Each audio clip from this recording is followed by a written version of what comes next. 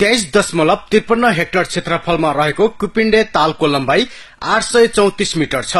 यस्तै पाँच सय अडतिस मिटर चौडाइ र चौतिस मिटर गहिराई छ।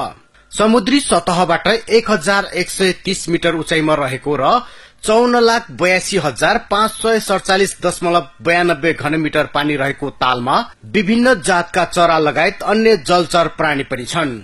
पाँच वर्षभित्र तालको संरक्षण गरी पर्यटकीय आकर्षणको केन्द्र बनाउने तयारी भइरहेको छ। छ नम्बर प्रदेशकै नमूना पर्यटकीय गन्तव्य बनाउने अभियान सहित काम अघि बढ़ाइएको छ। सल्यानका सांसद प्रकाश ज्वालाले तालको विकासका लागि पूर्वाधार निर्माणको काम भइरहेको बताए। यो जिल्ला विकास समिति सेफोक मिडिया पाली र ताल संरक्षण विकास समितिले चाहिँ अब ताल कुपिण्डे ताल भइसकेपछि ताल संरक्षण समितिको क्षेत्राधिकारभित्र पनि आयो। नत्र भने त्यो समितिभित्रै पर्दैन थियो कि।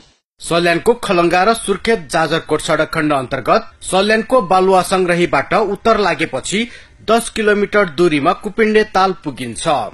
तालसँगै रहेको मन्दिरमा भेडा कुखुरा बलि चढ़ाउनाले मनले चिताएको पुग्ने र बच्चा नभएकाको बच्चा हुने धार्मिक विश्वास पनि रहेकाले तालको आकर्षण थपिएको छ। सेफोक्सुन र मिडिया प्रणालीले तालको प्रारम्भिक प्रतिवेदन सार्वजनिक गर्दै ताल संरक्षण र प्रचार प्रसारका लागि अभियान सञ्चालन गर्ने भएको छ। तीनतिरबाट यो चाहिँ पुरिँदैछ। तीनतिरबाट पुरिनु पर्ने खास कारण के हो र यसका संरक्षणका उपायहरू के हुन सक्छन्? त्यो उपाय अवलम्बन गरिएको छ। प्राविधिकहरूले त्यो अवलम्बन गर्नुभएको छ। अनि त्यसपछि सँगसँगै यहाँ कति जातका चराहरू बस्छन्? कति जातका चराहरूको वासस्थान छ भन्ने खालको कुरालाई पनि यहाँ यसमा क्राउन रिसर्च पाटोमा आएको छ।